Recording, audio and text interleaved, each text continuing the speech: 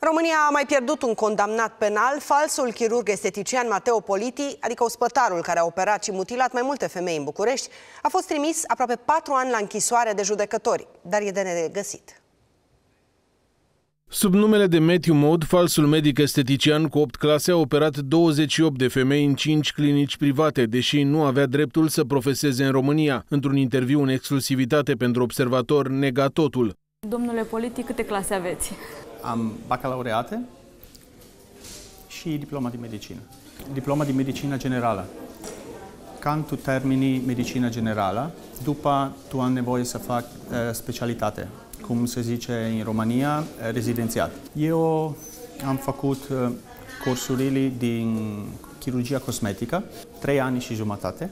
Este cursurile din, pur exemplu, implant mamar, mini lifting facial, abdominoplastia, prin sala de operație a falsului medic au trecut și vedete de la noi, implanturi mamare, rinoplastii și operații de mărire a buzelor. Falsul medic era omul bun la toate, chiar și la înșelătorii.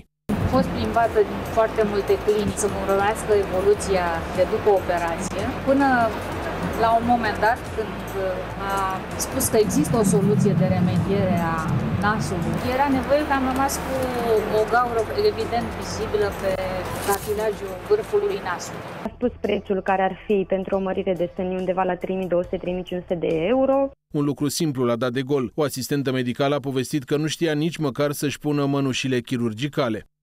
Nu este așa. Pentru protocolul, tu ai nevoie să pune maine, așa, pentru uh, bacterii. Să eu fac tot uh, doar eu. A trebuit să vi le puneți dumneavoastră. Da, este normal ce am nevoie să deschiză, să faci așa. După declanșarea anchetei, italianul a încercat să fugă din România, dar a fost prins în februarie 2019 într-un tren în Vama Curtici. Arestat preventiv o perioadă, a fost eliberat apoi. Acum este de negăsit. Procurorii urmează să obțină un mandat european de arestare și să-l dea în urmărire internațională. Ultima postare a italianului pe rețelele de socializare este din ajunul Crăciunului, când le ura prietenilor Crăciun fericit din Hong Kong.